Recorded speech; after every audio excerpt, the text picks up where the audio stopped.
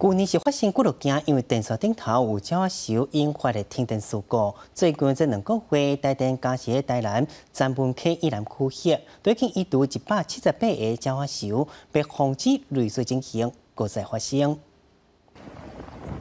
台电人员骑着塑胶锤啊，真细腻的深度，鸟仔类起伫电火条顶面的鸟仔树，而且鸟仔树唔那坚固，重点是鸟仔用来起树的建材当中，连工地常常出现的铜线、铁丝拢出现。喜鹊筑巢容易引起我们溃线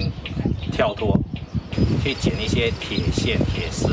上去一起筑巢。如果新市有喜鹊筑巢的话，哈，我们就会马上把它移除。就惊铁线去误着，引起跳电。甚至嘛发生过一起因为鸟仔收造成的停电状况。最近台电密集展开跳度的作业，所来来都要伫咧电火条顶面加装防鸟的塔尖，也搁有赶鸟仔的设备。清除完之后呢？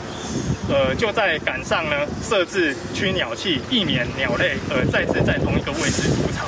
也是鸟仔树内面有鸟仔卵，或者是幼鸟，台电嘛会帮忙来移地，甚至是代替保鸟，照顾幼鸟，一礼拜到两礼拜了后，再搁野放。台南区处积极加强线路防护措施，例如线路加装卡扣式防护线管，更换架空电缆等，防止鸟类对电力设备造成损坏和供电中断。台电台南区营业处是表示，光仔是台南专门区以南的区域，能够话未来就移除一百七十八个鸟仔树，未来将会继续加强对供电设备、甲线路的检查甲维护，不断的改进防鸟的措施，维护用户的用电权益。记者郑俊云报道。